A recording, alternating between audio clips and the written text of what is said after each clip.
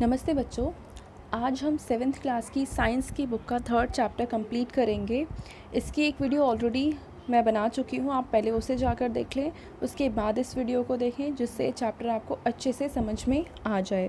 उस वीडियो में हमने पढ़ा है कि वूल हम कैसे ऑप्टेन करते हैं और इस वीडियो में हम सिल्क कैसे ऑप्टेन करते हैं, हम वो पढ़ेंगे। तो चलिए शुरू करते हैं। फ़र्स्ट हमें यहाँ पे समझना ज़रूरी है कि ऑक्यूपेशनल हैज़र्ड्स क्या होते हैं।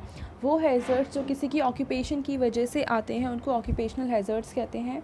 जैसे कि वूल इंडस्ट्री में काम करने वाले लोगों को अक्सर ऐसा होता है कि वो एंथ्रेक्स बैक्टीरिया के कांटेक्ट में आते हैं, जो कि जब हम वूल बना रहे होते हैं ऑप्टेन कर रहे होते हैं तो उस प्रोसेस में बीच में कई सारे स्टेजेस होते हैं, जिसमें से एक होती है सॉर्टर स्टेज यहाँ पे हम फ़ाइबर्स को सॉर्ट करते हैं। उस स्टेज पे अक्सर फ़ाइबर्स पे ऐसे होते हैं कि एंथ्रेक्स बैक्टीरिया होते हैं, और उस बैक्टीरिया के कांटेक्ट में वो लोग आ सकते हैं, जो इन पे काम करते हैं। और उस बैक्टीरिया के कांटेक्ट पर से आने से उन्हें डिज़ीज़ होती है, जिसका नाम है सॉटस डिज़ीज़ और ये डिज़ीज़ क्योंकि उनकी ऑक्यूपेशन की वजह से आ रही है। इसीलिए इसको हम कहेंगे ऑक्यूपेशनल हैज़र्ड्स सिर्फ़ ये नहीं, बाकी वो सारे डिज़ीज़ जो किसी की ऑक्यूपेशन की वजह से आती है, उसको हम कहेंगे ऑक्यूपेशनल हैज़र्ड्स तो चलिए हम यहाँ पे शुरू करते हैं। सिल्क वॉम के बारे में पढ़ते हैं। सिल्क कैसे ऑप्टेन करते हैं हम, वो पढ़ते हैं। फ़र्स्ट टर्म है यहाँ पे सेरिकल्चर यानी कि यहाँ पे सिल्क वॉम को हम डेवलप कर रहे हैं उनसे सिल्क ऑप्टेन करने के लिए। तो इस को ही कहा जाता है सेरिकल्चर यानी सिल्क वॉम का, को हम पाल रहे हैं। तो चलिए आगे देखते हैं सेरिकल्चर के बाद है। नेक्स्ट टॉपिक है life history of silk moth. तो यहाँ पे हम एक डायग्राम से समझते हैं। बुक में नहीं दे रखा है फर्स्टली होता क्या है कि सिल्क वॉम जो होते हैं, वो एग्स ले करते हैं। फिर उन एग से नेक्स्ट जो बनता है एग एग जब डेवलप होते हैं तो उनसे निकलता है लार्वा देन लार्वा के बाद जो नेक्स्ट इनकी स्टेज होती है, उसको हम कहते हैं प्यूपा देन प्यूपा के बाद वाली स्टेज को हम कहते हैं मोथ और फिर ये जो मोथ है, वो डेवलप होता है कोकून के अंदर।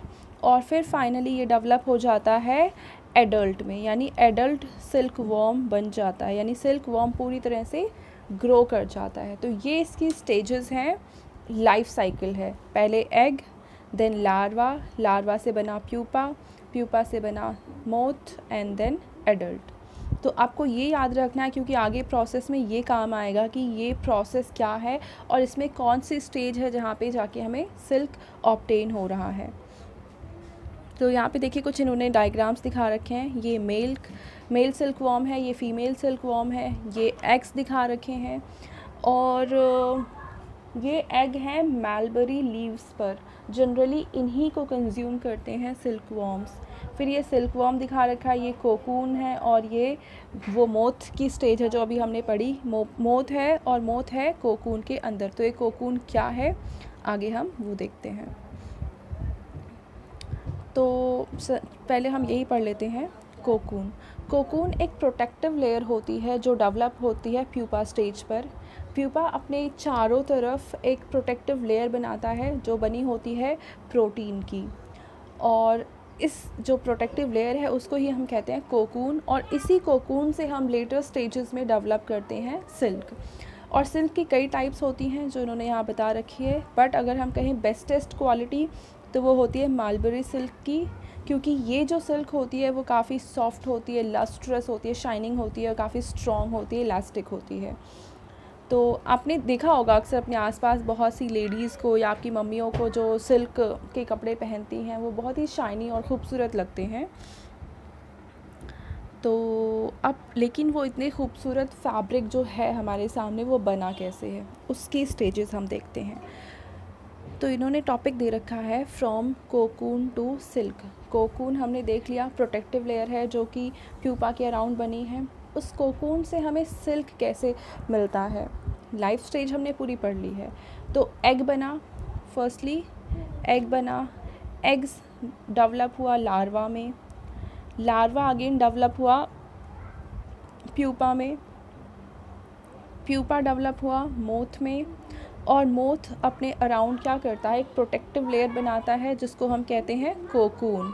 फिर इस कोकून के अंदर जो ये मोथ है, वो डेवलप्ड होके एडल्ट बन जाता है, ठीक है? तो इनका लाइफ साइकिल तो कंप्लीट हो गया, बट इनके अराउंड ये जो प्रोटेक्टिव लेयर है, इसका क्या होगा? यही है कोकून, और इसी प्रोटेक्टिव लेयर से ही हम बनाते हैं सिल्क।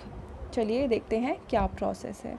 तो फर्स्टली हम सिल्क वॉर्म का इनका फ़र्स्ट प्रोसेस है रियरिंग रियरिंग में क्या होता है कि जब सिल्क वॉर्म एग्स देते हैं मतलब लीव्स पर ही जनरली एग देते हैं, इनको उन फार्मर्स को बेच दिया जाता है जो कि सिल्क वॉर्म का प्रोडक्शन करते हैं। तो फिर ये फार्मर्स क्या करते हैं, उनको अच्छे से प्रोटेक्टिव इन्वामेंट में रखते हैं, एक नॉर्मल मतलब हाइजीनिक कंडीशन में रखते हैं जिससे कि वो एग डिस्ट्रॉय ना हो और उन्हें एक नॉर्मल टेम्परेचर और हाइजीनिक कंडीशन ये दो चीज़ें इनके लिए इसेंशियल होती हैं। अगर ये बेकार कंडीशन में रहते हैं तो भी ख़राब हो जाएँगे और इनको एक नॉर्मल टेम्परेचर नहीं मिलेगा तो भी ये डिस्ट्रॉय हो जाएँगे और इनसे कुछ आगे नहीं बनेगा, ठीक है? तो इसीलिए ये फॉर्म फार्मर्स जो होते हैं वो काफ़ी ट्रेंड होते हैं कि कहाँ पे कैसी कंडीशन देनी है और कितना टेम्परेचर रखना है। देन होता है कि जनरली इनका जो प्रोडक्शन होता है एक ख़ास सीज़न में होता है। उस ख़ास सीज़न में होने का रीज़न ये होता है कि ये जिस ट्री पे रहते हैं, वो है मालबरी ट्री और इनकी लीव्स जो हैं, जैसे ये हमें लीव दिखा रखी है, इसी को ये कंज्यूम करते हैं। मतलब इनका जो न्यूट्रिशन है, जो इनका फ़ूड है, ये यही मालबरी ट्रीज़ हैं। और ये पूरे साल नहीं होती हैं, एक पर्टिकुलर सीज़न में होती हैं।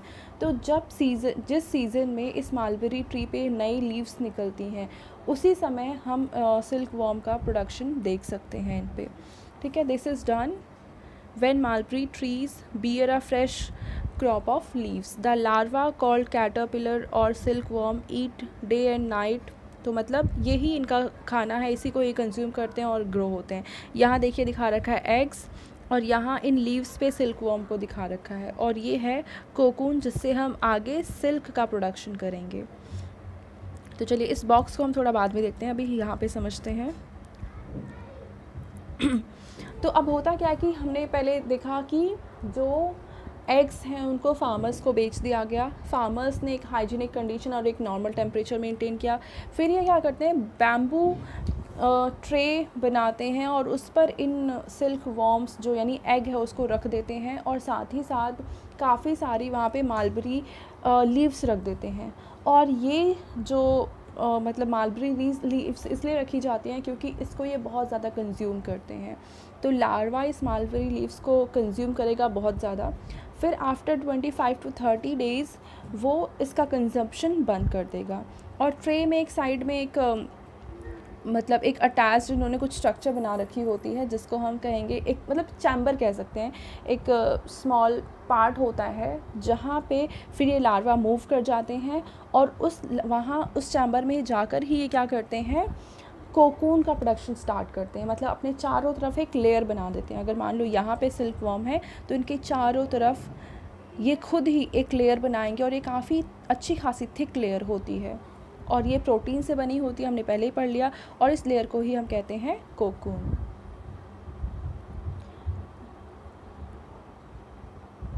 ठीक है? देन इसके बाद क्या होता है कि कुछ समय बाद ये डेवलप हो जाते हैं, बड़े हो जाते हैं और अब इनको इस प्रोटेक्टिव लेयर की ज़रूरत नहीं होती है। तो उस समय इस प्रोटेक्टिव लेयर ये इनके लिए बेकार हो जाती है। तो उस प्रोटेक्टिव लेयर को हम ले लेते हैं यानी कोकून को हम ले लेते हैं। फिर करते क्या हैं? उस कोकून को कुछ टेम्परेचर में हम इसे रख सकते हैं। मतलब इसे टेम्परेचर से एक्सपोज कर, कर सकते हैं या गर्म पानी में इसे डाल सकते हैं। और फिर क्या होगा? जो सिल्क फाइबर जो है इनसे वो सेपरेट हो जाएगा। The process of taking out threads from cocoon for use, use as silk is called reeling the silk. Reeling of silk में क्या होता है कि हम जो सिल्क फ़ाइबर्स हैं उसको लेते हैं और उसको अलग अलग प्रोसेस से हम उससे फ़ाइबर्स ऑप्टेन करते हैं जो सिल्क फ़ाइबर है उसे ऑप्टेन करते हैं। और फाइनली इन फ़ाइबर्स से हम अलग अलग फैब्रिक्स बना सकते हैं, ठीक है? देन यहाँ पे एक टॉपिक हमारा छूटा हुआ था, ये वाला। डिस्कवरी ऑफ़ सिल्क तो ये माना जाता है कि आज से thousands of years ago China में ही सिल्क का प्रोडक्शन स्टार्ट हुआ था और वहीं से सिल्क का के जो फैब्रिक्स हैं, वो अलग अलग यूरोपियन कंट्रीज़ में और अलग अलग पार्ट्स में इनको भेजा जाता था।